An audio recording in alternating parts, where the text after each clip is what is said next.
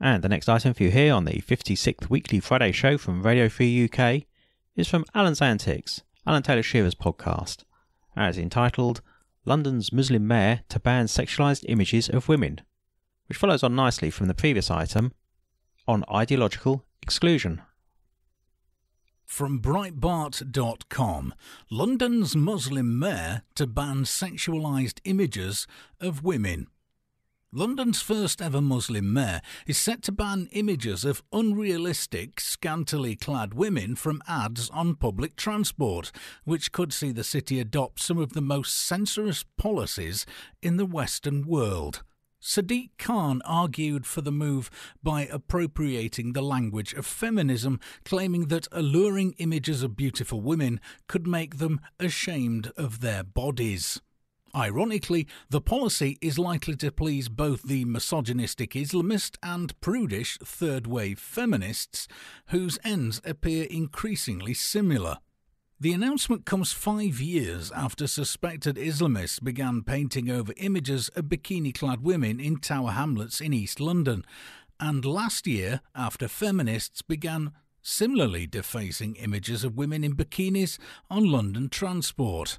Images of women are banned in public across large parts of the Muslim world, and the phenomenon is now spreading to the Western world.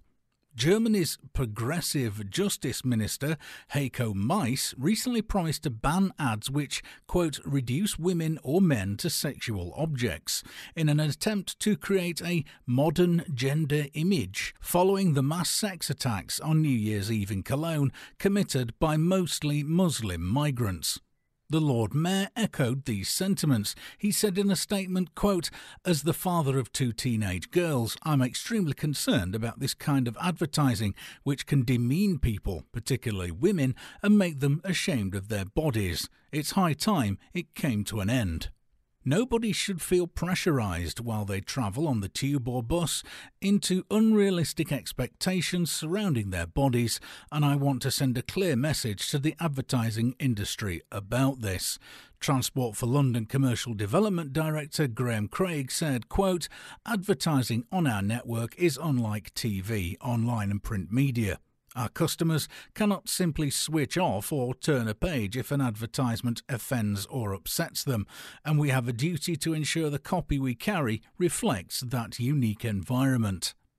In April of this year, the UK's advertising watchdog announced an investigation into the objectification and sexualisation of women in ads because of an increasing political and public debate driven by offended feminists on social media. The Advertising Standards Authority, ASA, had already started banning ads featuring attractive women that supposedly cause offence or harm. Such censorship may now become routine as the ASA claims it is alive to changing attitudes and behaviours.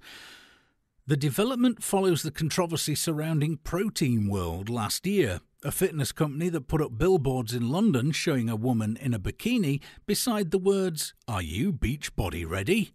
Feminists and so called social justice warriors started an aggressive online campaign against the ads, which was picked up by the liberal media, leading to more than 70,000 people signing a petition against the image.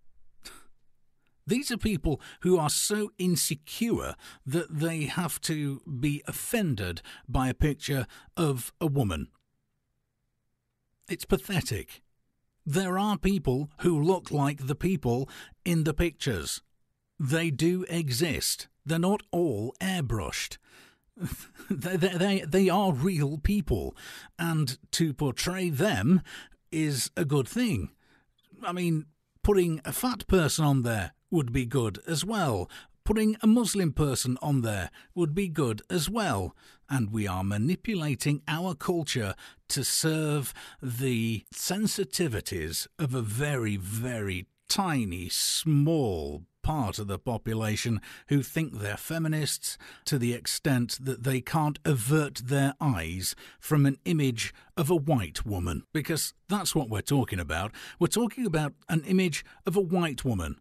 And apparently, not being able to avert your eyes so that you don't see the image is not good enough. Now you have to deface public property, and what about the rest of us? We might want to look at that image completely, in all its glory. I know I would. But then I suppose that makes me a misogynist and an Islamophobe. Well, first of all, I have no fear of Islamists and I have no qualms with Islam. And, well, being a misogynist, I'm just a bloke. I'm just a man who likes to see a pretty lady. And that's it. That doesn't automatically make me a rapist, as some feminists would have you believe that if you like to look at attractive women, then you want to rape them, which apparently makes you a rapist. Well, I'm not. I never have been, and I never will be. I have a very attractive wife, thank you very much. And yes, I like to look at her in bikinis.